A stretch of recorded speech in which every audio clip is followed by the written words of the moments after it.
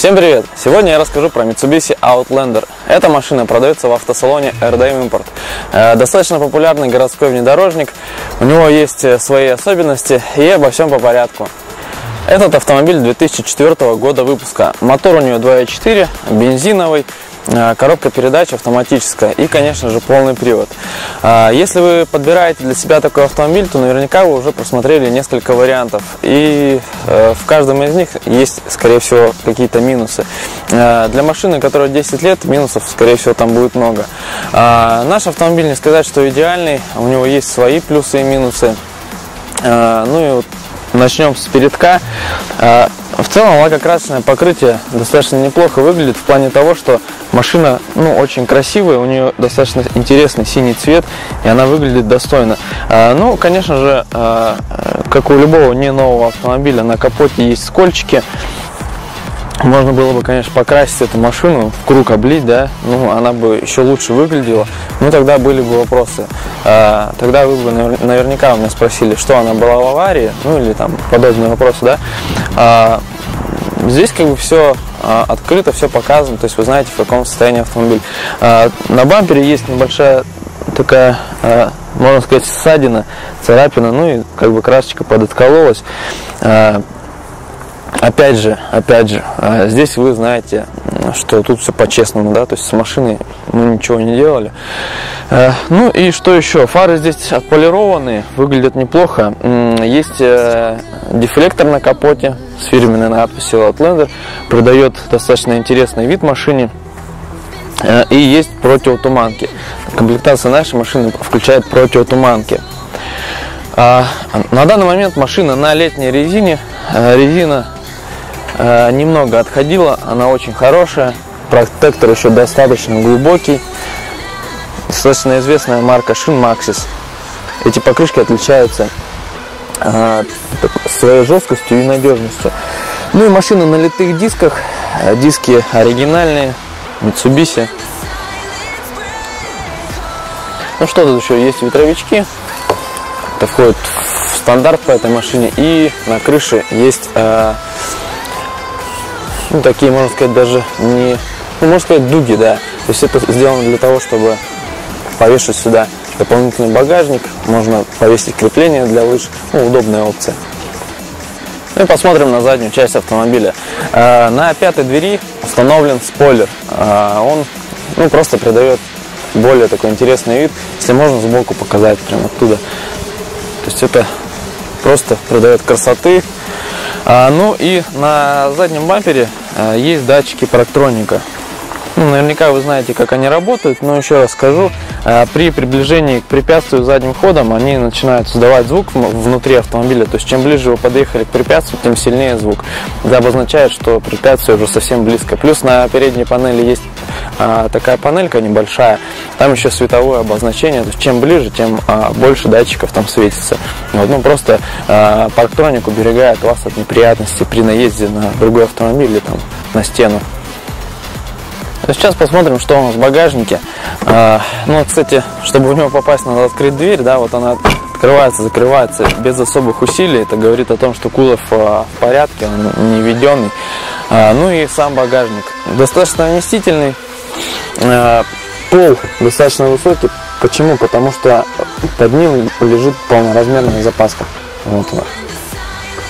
Если бы запаска была пониже, то пол, скорее всего, был бы ниже.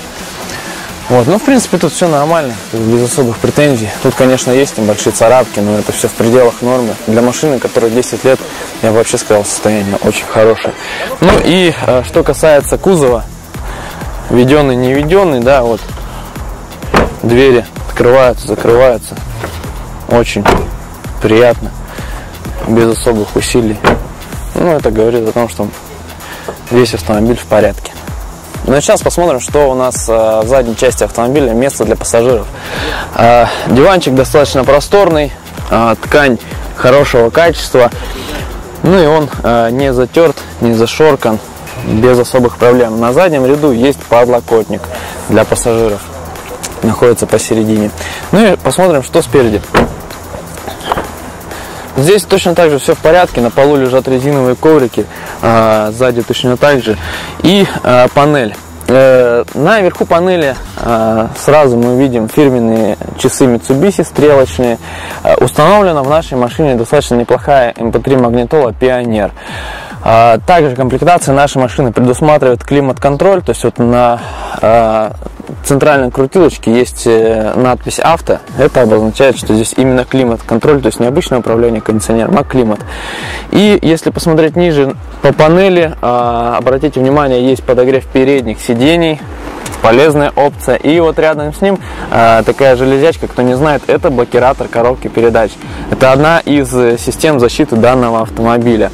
Ну и э, посередине между передними сиденьями есть подлокотник. Он на достаточно э, удобном уровне, есть водителю пассажиру его хватает по ширине, и он очень удобный.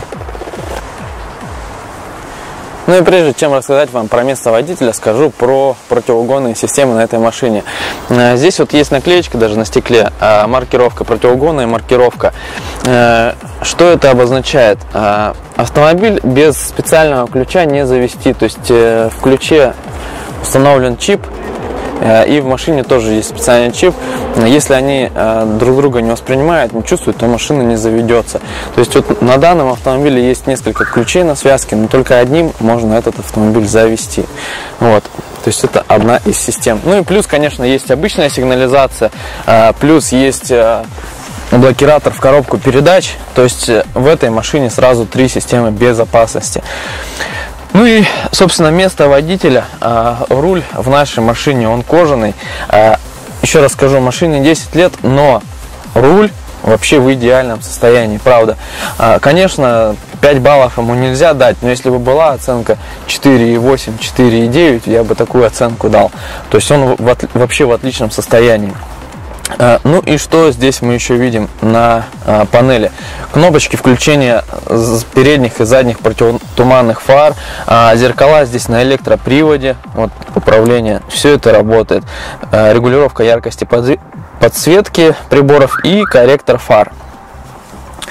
Ну, в принципе, как бы все так в нормальном состоянии. Вот, кстати, датчик парктроников здесь вот на панели установлен. И вот эти вот точечки, они как раз светятся, когда вы подъезжаете к препятствию задним ходом. Потолок. Потолок в отличном состоянии. А, тут как бы проблем нет. И вот руль, кстати, регулируется по высоте. То есть достаточно удобно. А, для водителя есть еще регулировочка по высоте сидения. Все это поднимается, регулируется.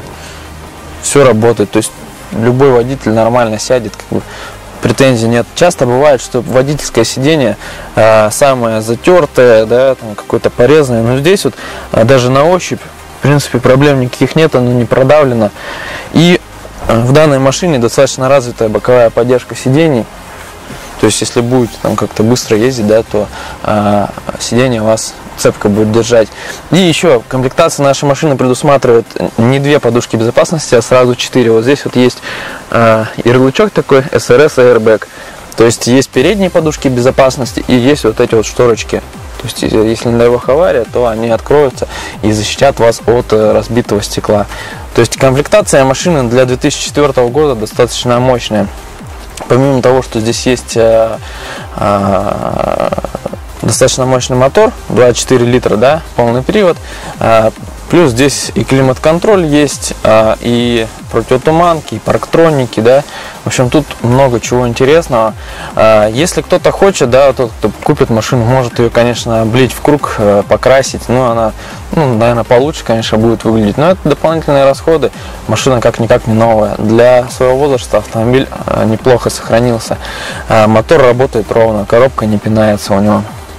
Э, ну, в общем, такой вот автомобиль продается в автосалоне RDM Import. Э, приезжайте, э, мы всегда готовы его показать. Машины есть в наличии, не только такие, машин много. Поэтому приезжайте, покупайте этот автомобиль.